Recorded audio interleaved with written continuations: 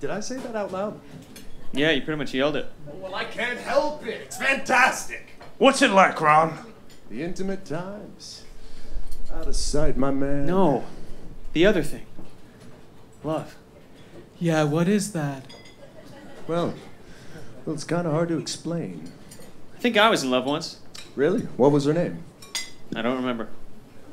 Yeah, see, that's it's not really a great place to start, but, but go on.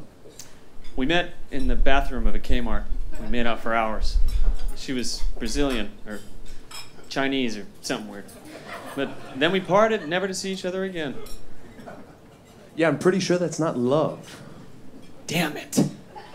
I love carpet. I love banquet. Brick, are you just pointing at things in 54 Below and saying you love them? I love plantain chips. Do you really love plantain chips, or are you just saying that because you saw them? I love plantain chips. I love plantain chips.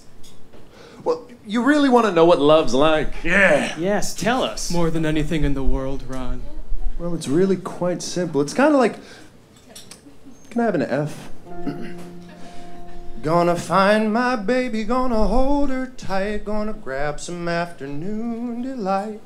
My motto's always been when it's right, it's right. Why wait until the middle of the cold, dark night? When everything's a little clearer in the light of day. And you know the night is always gonna be there anyway.